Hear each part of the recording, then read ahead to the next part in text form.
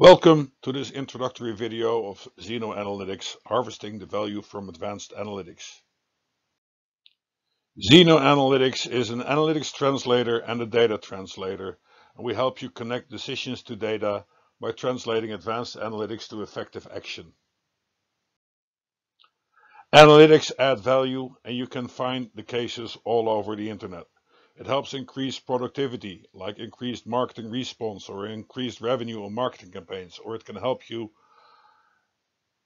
manage more people at the same time. It helps improve the customer experience by improving product development, by reducing complaints, by streamlining uh, processes. It helps you reduce operational expenses by cutting out unnecessary actions. It helps prevent risk on credit risk or fraud or cyber risks and streamlining complex processes. There is actually a separate line called process mining that will help you identify how I can how you can improve on your business processes. And in general, it helps you leverage investments that you've done already in your IT investments on ERP, on CRM systems, on Salesforce automation systems, and uh, on all the data collection that you've put in place. But reality isn't that straightforward. It is still a struggle for most companies to, to derive valuable insight from the data that they have. There's also a cultural and organizational problem in adopting data-driven decision making in most organizations. And that leads to only 11% of companies being very satisfied with the results of their investments in data and analytics projects. To generate value from analytics, you need to bring your business process, your IT architecture, and your data together with analytics and try and find the sweet spot. Sweet spot is actually the cross section between those four dimensions where you actually will generate the value. As long as you do not bring it, the, the analytics into your business process, into your decision making process and use the right IT architecture and data to actually support that, you will never derive value. And we will need to use multiple analytics working together to reach a decision because business decisions are complex. In the example of acquisition, we need to determine whether uh, who is in the target area, which channels can we best use, what are the messages we want to use, and are they likely to respond to an offer and if they respond to it, will they actually buy and for how much? And if they buy, will they pay and when? And if they've bought, will they buy more and what will they buy and how long will they target? Because those are all questions that need to be answered to make a right decision on whether you're going to make an offer to someone or not. We need to be agile to do that. We need to continuously learn and adapt. In this slide, you see the OODA loop, the observe, orient, decide and act loop that John Boyd developed based on the decision-making process of fighter pilots. And in business, it is the same. We need to continuously observe what is happening in the market, what is happening in our organization. We then need to orient where where are we, where do we need to go, and we need to make decisions, and based on that decisions, we act. But those actions have an effect of the environment, so we need to have feedback loops at every moment in time to actually observe again what is happening. And our business actions are part of our analytics because when we make a decision, we influence the market that we're in and we change the reality that we've built our previous analytics on. To use an example, when I build a uh, retention model to predict which customer is likely to cancel their contract or go to the competition, and I take an action to prevent that, I basically take an action to make my prediction not come true. So the next time around, I need to adapt my analytics for that and I need to incorporate my own actions into that process. So I also need to build a model that looks at offer acceptance. So not just the likelihood that they're going to uh, go to the competition, but I also need to look at who is actually going to accept the offer. And the next step that I want to do is actually look at, okay, so how are they developing? Does it actually make sense for me to, to make an offer uh, to keep them or are they not worth it? Is there a, uh, a likelihood that this customer is someone that I do not want to keep? So overall, we continuously need to look at what are we seeing, where are we, how do we want to decide, we take an action and then we use that feedback loop to make sure that we continuously learn and adapt. We need to go beyond the hype of big data and that it's a silver bullet that will help us be successful with the push of a button. In the uh, Beyond the Hype, the hard work behind analytics success in MIT Sloan Management Review, there are five points that are very important. One competitive advantage with analytics is waning because if everybody is starting to use analytics, then it becomes more difficult to uh, dis distinguish yourself from your competition.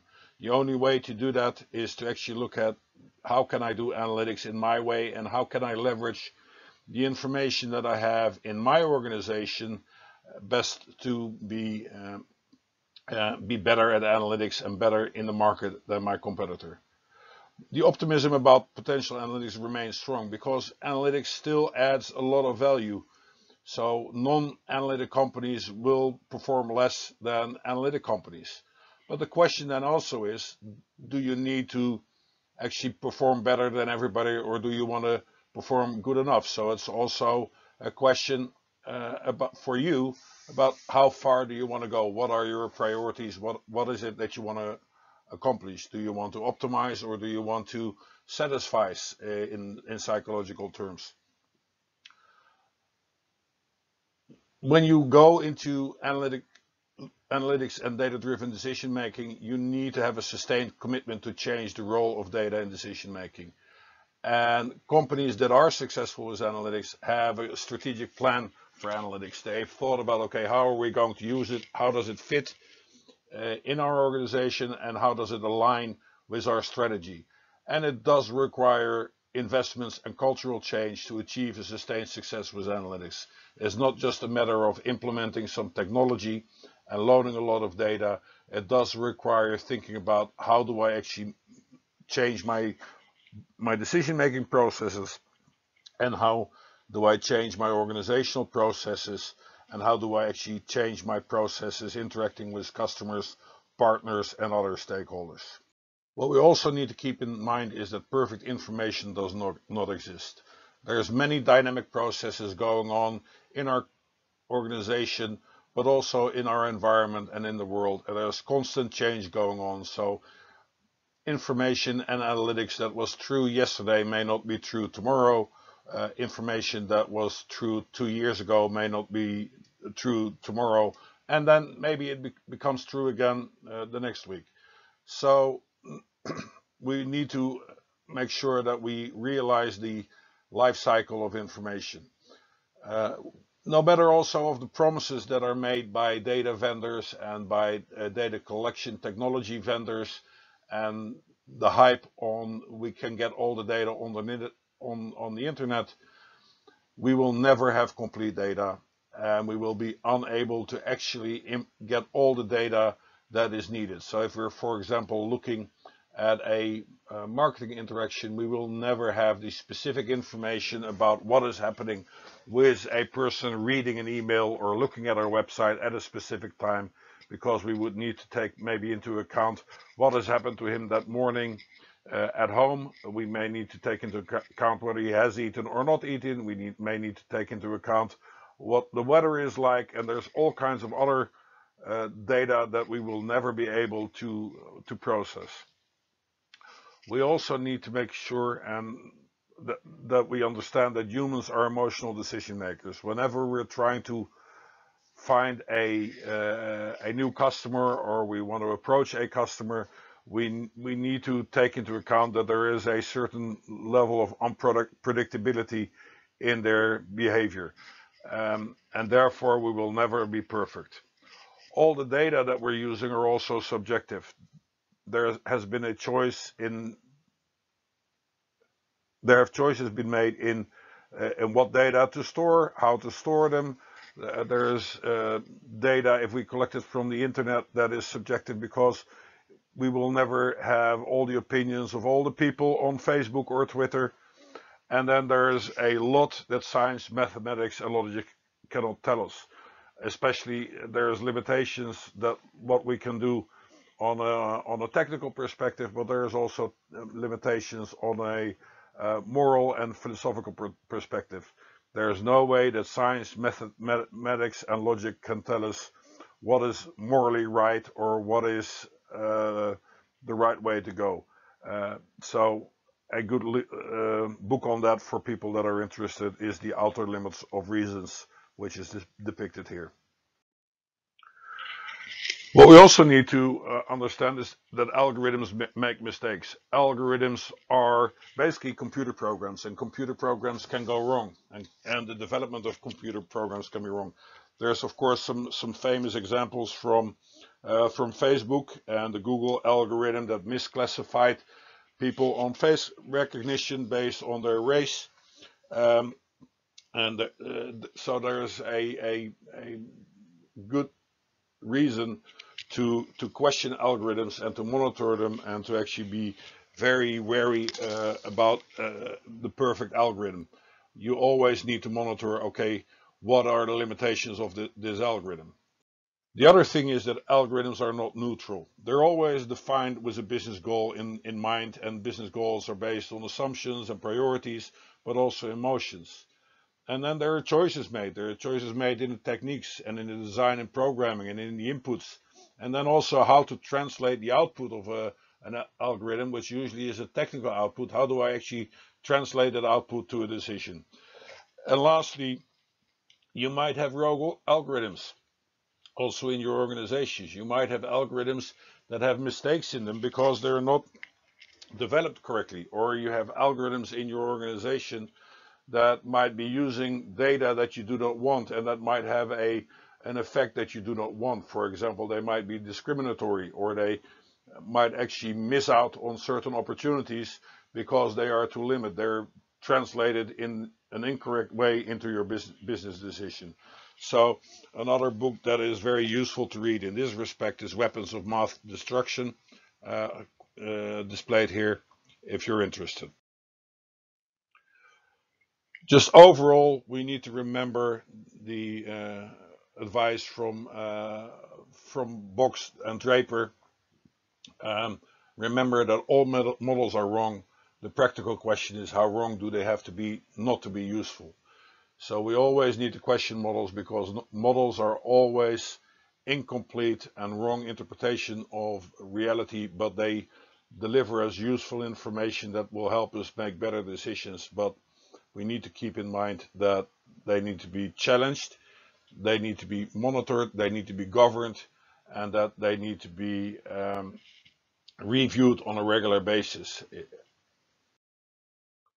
So the question is, how do you want to make your decisions? What are your organization's ethics and values? Do they put any limitations on the type of analytics that you want to perform or the type of data that you want to collect? What are your strategic objectives? Do you want to have long-term growth or do you want to have short-term gains? Do you want to have long-term customer relationships or do you just want to maximize your your volume? And how do you want to perceive your, your, your brand to be perceived in the market? What is it that you want to do with analytics? How far do you want to go? Do you want to expose yourself to possible negative press like it happened with Facebook or Cambridge Analytica or with others? how do you decide on the boundaries of analytics in your in your um, in your organization? How far do you want to go with analytics, and and where is the uh, the limit?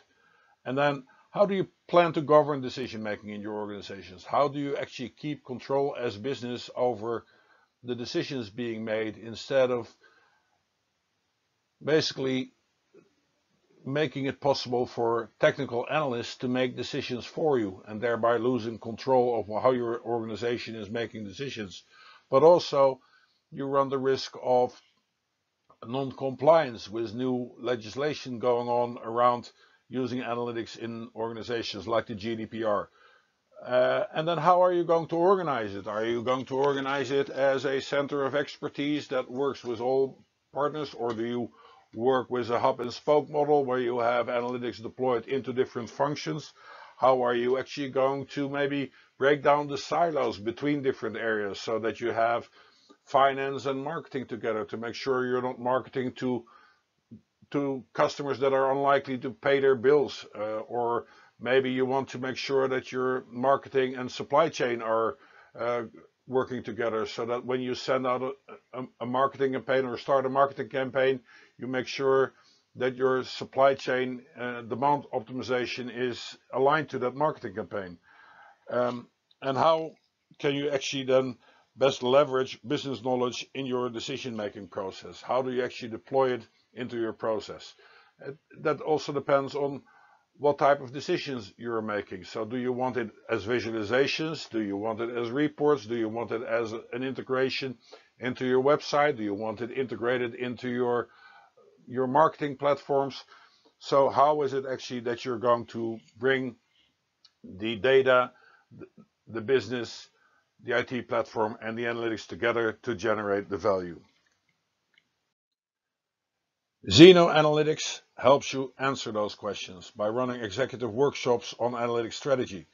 We also offer an analytics acumen assessment, which is a project to identify and define analytics use cases in your organization to help you improve business outcomes and a roadmap for implementation on a step-by-step -step incremental basis to make sure that you learn while you implement and you can adapt and learn on analytics in your organization.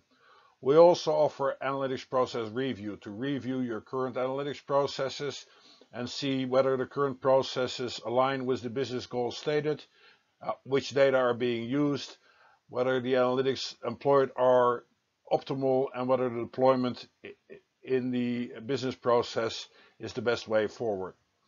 And finally, we help you design analytics solutions in your organization and manage the implementation. I want to thank you for your attention. My contact details are on the slides. My name is Jaap Vink, Zeno Analytics.